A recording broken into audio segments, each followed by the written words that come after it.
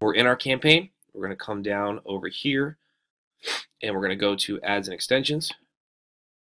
And this is where we're going to create, sorry, to, up here you're going to toggle over to extensions. And this is where we're going to create our ad extensions.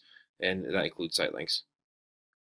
So we come here, pulls up a list. These are all the ad extensions. And I actually have a video that I made earlier um, we're go going through each one of these and how they work and what they're used for. So check that out. I'll drop a link for that in the description below this video.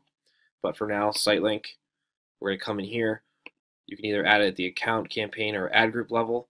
So you can have different site links for each ad group, which is powerful. But for right now, this example, we're just going to do campaign level. So this is going to show for all of our ad groups in our XYZ Roofers campaign.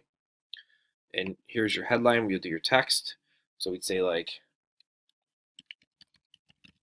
certified roofing experts. And then you could do a description here or here, whatever, doesn't really matter. Then you would come down here, drop your URL for the site link of where you want it to go, and say,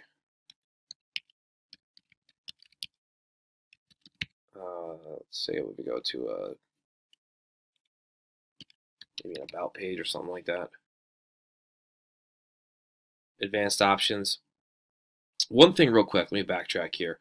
So when you're setting up your site links, if you get confused about what is what, you can always hover over this little question mark here and it's going to come up and just basically tell you what this is, what it's used for. And it's really helpful if you're new and don't really understand the AdWords interface.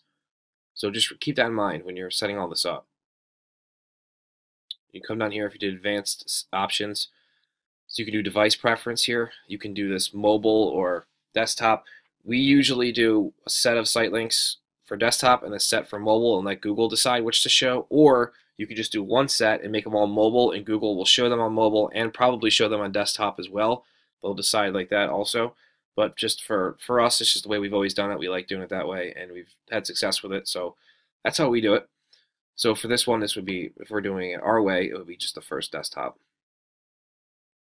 So we come down here, you can do an ad schedule if you want to show the site links between certain times, start date, end date, whatever. We don't really mess around with this too much. I don't think you should either. Just let it run. So we have our first site link.